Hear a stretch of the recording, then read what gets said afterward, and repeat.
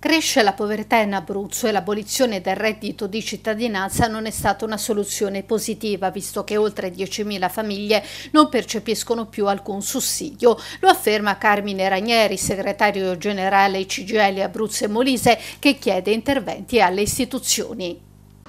Ma la, la, povertà in Abruzzo aumenta, aumenta sia la povertà assoluta che la povertà relativa. Eh, questo dipende dal fatto che oggi o non c'è lavoro o quando c'è lavoro, questo lavoro è un lavoro povero, un lavoro sartuario, un lavoro mal pagato.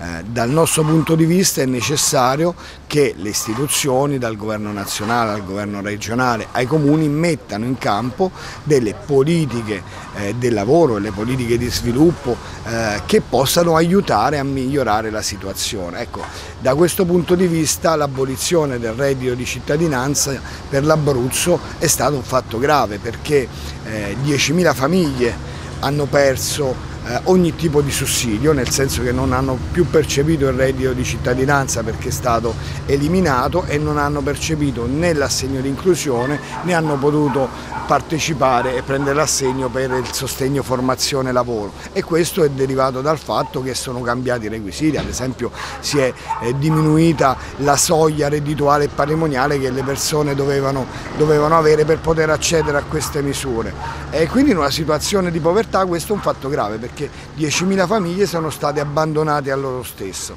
Tra l'altro invece eh, coloro che hanno aderito alla nuova misura e hanno avuto accesso al sostegno formazione lavoro, beh anche qui dobbiamo dire che ci sono stati dei ritardi burocratici per cui la misura è partita in ritardo e questo sostegno non è stato, non è, questo sussidio non è stato percepito per diversi mesi e poi di fatto non è stata eh, messa in campo una formazione adeguata a consentire a queste persone poi di essere formati per trovare un nuovo lavoro. Quindi una misura che è stata sotto tutti i punti di vista una misura dal nostro punto di vista fallimentare. Bisognerebbe cambiare la misura a livello nazionale e con la Regione nel tavolo del lavoro dovremo lavorare per migliorare la formazione il sistema formativo della Regione Abruzzo.